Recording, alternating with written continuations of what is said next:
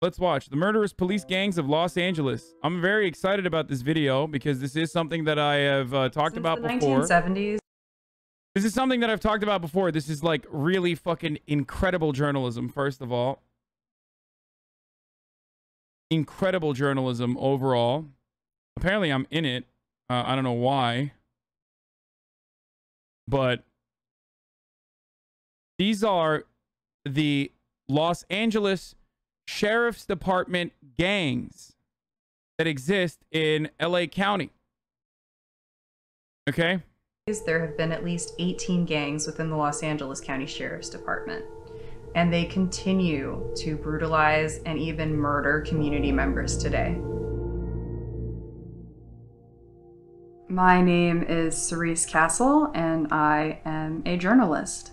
I got In the pee. I'll be summer of 2020, I was working for a local radio station here in Los Angeles, and I was out covering the George Floyd rallies that were happening across the country, across the world. And I was shooting photos of people protesting, and while I was doing that, two cars with police officers on them in riot gear rolled into the area where people had gathered and they shot people with less lethal munitions. And although I identified myself as press, I was shot, and the resulting injuries landed me in the hospital. A few days after that happened, the Los Angeles Sheriff's Department um, killed a teenager who was working at his job in the Compton area. Very quickly after this young man was killed, his name is Andres Guardado, was reported that his killing may have been part of a gang initiation. And there are some new allegations against the deputy involved in Guardado's case who did not fire his weapon.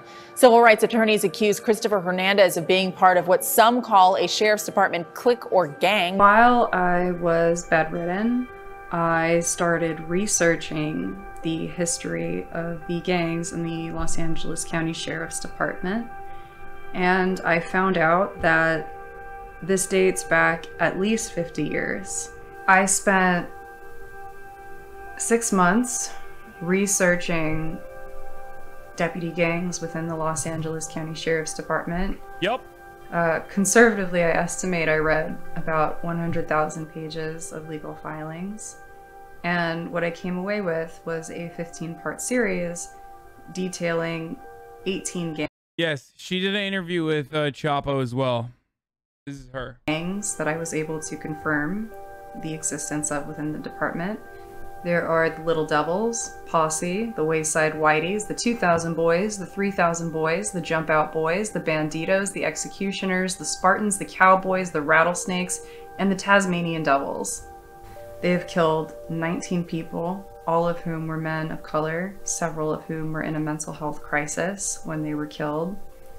Uh, government from the county level, the state level, and the federal level has known about this issue since the early 1990s, and no significant action, policy change has been brought forth.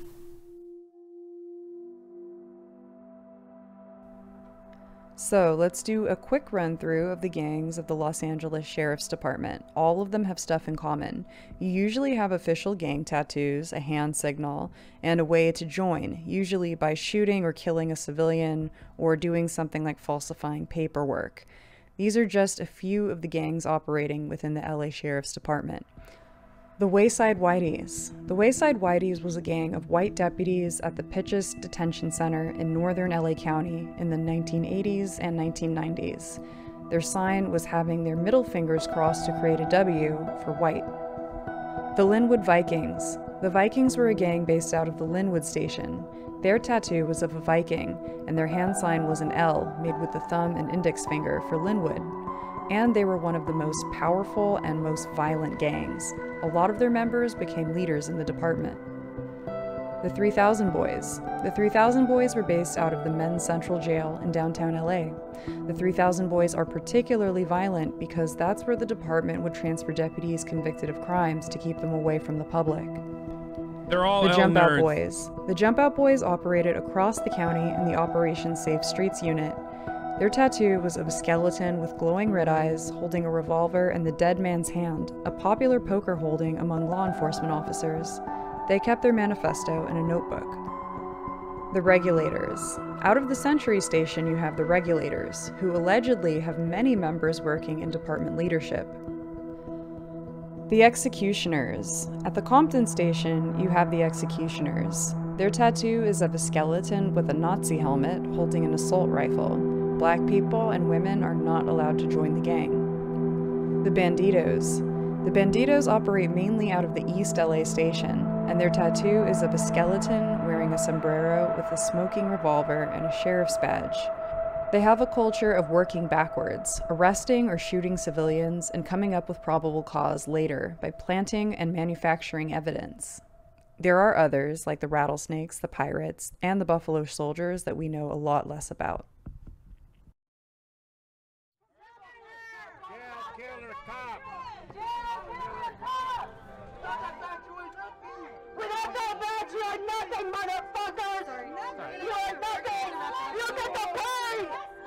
Anyway, I'm here today at a rally, two year anniversary of the killing of Paul Rea, 18 year old young man at a traffic stop by Hector Saavedra, who's East LA Sheriff Deputy, who was a prospect. I'm gonna need some proof on this. Bro, it's literally I personally do not understand when you are watching something that is delivering proof to you and you go, I'm gonna need some proof on this. Like this is extensively fucking covered uh, uh an incredible news reporting. for the deputy sheriff gang Los Banditos. Now, how do I know that? Because two deputies who work here were uh, interviewed on national TV. LA Sheriff Deputy Hector Saavedra Soto. Is he a prospect for the Banditos? Yes, he is. He's a prospect. Paul Rea is my son. He was murdered Anyway, on June let's get back to 27th, the actual fucking uh, you know thing that we were looking at. Sorry.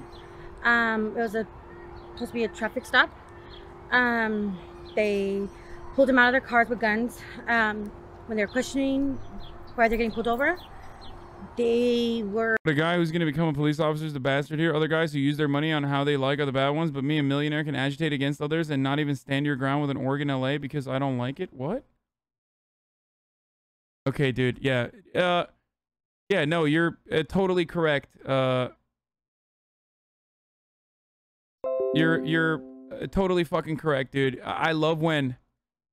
I love when I just like make something up about uh I just completely fabricate something about the person I hate. were scared because they didn't know why they were getting pulled over, and they're getting pulled over with guns, you know, to their heads, and being told that if they move, they're gonna shoot their fucking heads off. Um, they pulled the driver out of the car, and um, when they pulled my son out, they're gonna handcuff my son, and, and I know my son was feared for his life. He just from childhood, you know, growing up, seen me harassed before. Um, he ran. He didn't even get four feet away when Hector Saavedra shot him multiple times in the back.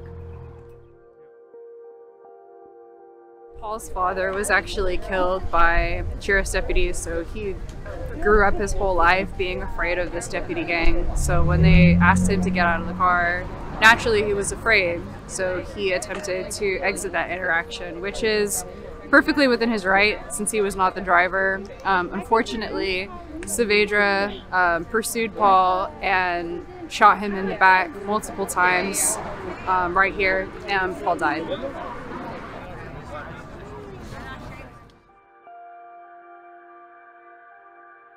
The, the two deputies that killed Anthony Vargas were also prospects for the East LA Sheriff's gang. Anthony Vargas was shot by Sheriff Deputy Nicholas Perez and Sheriff Deputy Jonathan Rojas. Are they also part of the Bandidos gang or prospects for the Bandidos? Prospects? Yes. They're prospects. How do you know they were prospects? You know, just personal conversations with them, and them saying that was one of their main goals to be a For the record, the reason why there's like hella fucking uh, protection there is because these dudes in the gangs in the sheriff's gangs, the sheriff's deputy gangs, do not fuck around. They will murder you. Okay? They do not fuck around at all. As a matter of fact, the journalist that uncovered all of this now has to walk around with like actual security and a fucking vest wherever she goes. Part of this gang. uh, August 12th of uh, 2018, my nephew, um, he had attended a barbecue. You know, he was just following what he always did. You know, whenever there was a barbecue, he showed up, took his rub. He thought it was the best rub, so hey, get it out there, right? He took it, and um, you know, that was the last time. That was the last day that we we seen him was August 11th. There was a robbery call that had went into the East LA Sheriff's Department um, where an individual had said that they had their $12 watch stolen. They gave a description of an individual, 30 to 40 years old, over six feet tall. Um, you know, it fit nothing of Anthony's description, wearing a completely different color shirt than my nephew had on. Um, you know, two deputies from the East LA Sheriff's Department were, you know, servicing the area at the time, and they saw my nephew walking down one of the fire paths on his way home and they, you know, targeted him. My nephew was punched in his head multiple times, punched in his ribs by these deputies, um, you know, before falling to his knees where he was shot at 16 times. It was just like bam, bam, bam, bam, bam, like continual shots. One man shot and killed by Los Angeles County Sheriff's deputies. Investigators say the young man did have a gun on him, but they're not sure if he was a part of the robbery. Anthony was not known to carry a gun on him. Um, he slept in a room with my mom, which is his grandma. He slept directly across from my seven-year-old niece at the she was seven years old at the time. Anthony was not known to carry a gun. You know, he was not known to carry weapons. He was. You've never seen him with a gun? No, never. If you get in a shooting, that's a definite brownie point. And according to these deputies, to justify those shootings, they plant weapons on the people they stop. There's been multiple occasions where they say, hey, we got a guy that has a gun and he's running from us. In reality, that person never had a gun. And they would say, oh, it was a phantom gun. It was something that really wasn't there. So you have personally witnessed that? Yes. And we started reading the DA report and matching them with, you know, other things that we found on our own which includes like you know the like the autopsy report you know we found out through forensics that the gun that they're saying my nephew had on him had absolutely no DNA on it none of my nephew's DNA and I find it strange because these these deputies are saying that my nephew had Damn, how the fuck did that happen? I wonder.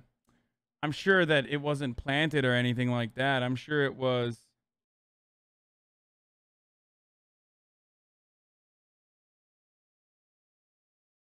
You know?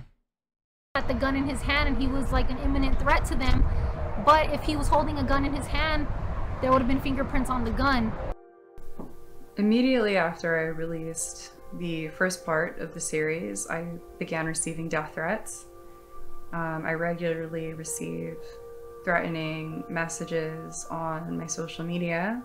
I receive phone calls from people threatening my life. I have, my loved ones have received these messages as well. Uh, the sheriff of Los Angeles County has instructed anyone that I reported on to personally sue me.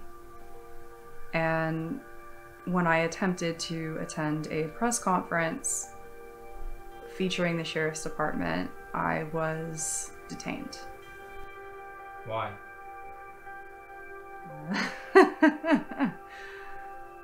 I think the sheriff's department has decided to target me since I released the series. We started like just finding shit and everything we would find out about Anthony or about the sheriff's department, we would come out and talk. And the more we would come out and talk, the cops would pass by the house and they would park on the corner of our street, which they still do to this time. They would park in the corner of our house and they would sit in their car and they would eat their lunch. Mm-hmm. And, you know, there's a corner store from where our family residence is, so the kids will walk to the store. And they can't even walk to the store because they see the sheriff's department right there and because they know what they did to Anthony. And these are kids under the age of like 15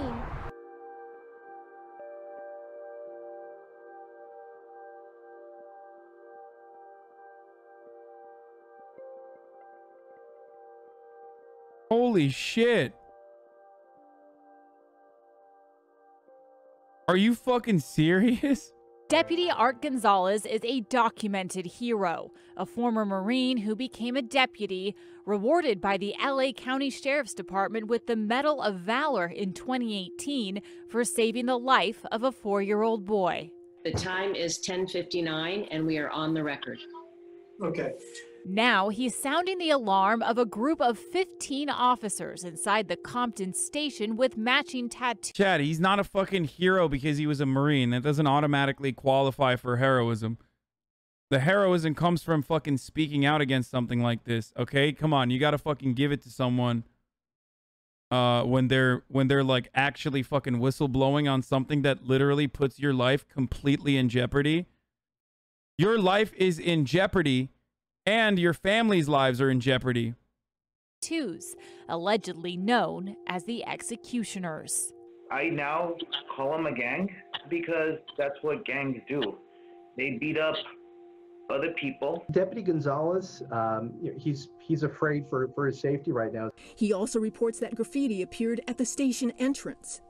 Art is a rat, and that was placed at the keypad. By the way, that shit, one thousand percent is what people say when there's like, uh, uh, just this attitude, the fraternity, the boys in the blue, like the thin blue line. You just never.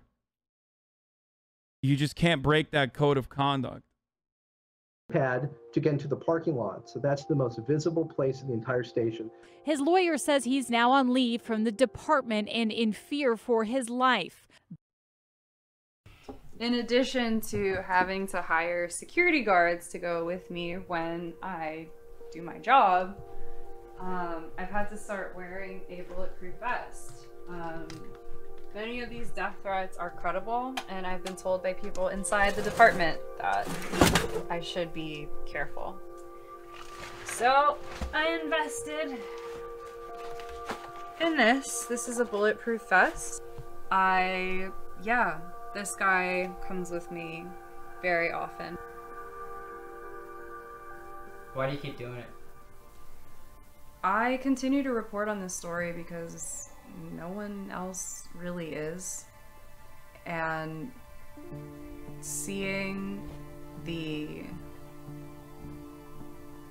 closure, I suppose, that I'm able to bring to families. Um, you know, oftentimes they had suspected for years that their loved one had been killed by a deputy gang member. And I can come along and confirm that. And I've also seen my reporting make a very real difference in some of the ongoing cases. Um, just recently, the Democratic Party of Los Angeles County uh, passed a resolution asking for the sheriff to resign. And now that, you know, everything's came out, like there's a complete, you know, turn and like I can't tell you how it feels to like see the tide turn. You know, like it's fucking groundbreaking and it's like it shows you the progress that's being made. You know, it just makes you want to keep pushing more and more because when we were fighting back then, like that push now has come it's come even further and it's just like it fucking it encourages you. The sheriff Alex Villanueva, the the lead gang member of LA County, he's a bandito himself. This is 10 3000 boys. Deputy Mark Romero is one of them, and now today I believe he's a homicide sheriff, but he's a 3000 boy underneath. Uh, we're out here spreading the word. Thanks, Jordan, for the five tier one gift. Everyone's saying it. Google LASD gangs. Everyone should be uh, tagging their neighborhood with Google LASD gangs. Google LASD gangs. Fuck the banditos. Fuck Sheriff Villanueva. Fuck LASD as a organization. By the way, when you're done Googling 40% cops, uh, Google Los Angeles Sheriff Department gangs. Okay, LASD gangs. We know about your gangs. We're telling our people to Google LASD gangs, and we're coming for your asses. And then there's, uh, there's another woman, Cerise, uh, who has been uh, putting together a series about the gangs in the uh, sheriff's department. So I'm going to take a look at all of this as these investigations are going on. We have video proof. We have pictures. We've taken them to the sheriff's department. We've called the CLC meetings. We've done what we had to do, and nothing's gotten done. It's unacceptable. We will send a clear message to the LA County Sheriff's Department that you clean your house. You get your house in order, or we will surely help you do that. You have executioners, you have gangs in your own house. Keep going out there and just keep fighting and keep exposing them for what they are and what they're doing because it's, you know, their reign of terror isn't going to stop unless we put a stop to it. So that's, we're not going away anytime soon, you know, like we, I think we're here to stay. You look good for a 85 year old uh, Korean uh, war veteran. Thank you. It's kind of weird because like the only way that uh the only way that you can deal with that is by like using the FBI. You know what I mean? Like the the only people that can like accurate accurately and adequately investigate this would be the Department of Justice and the FBI.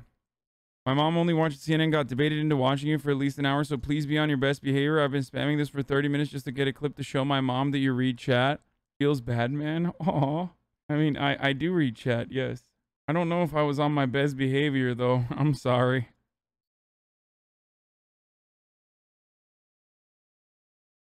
But hi to your mom.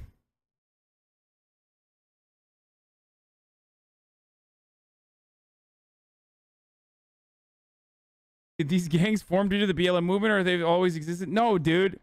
They predate the BLM movement. What the hell? Why would you need to build a gang within the original gang, which is the police? Just for the BLM movement, dude. That's crazy. Anyway. That was really good. That was really well done. Congratulations to the Gravel Institute for, you know, making another great video. Um,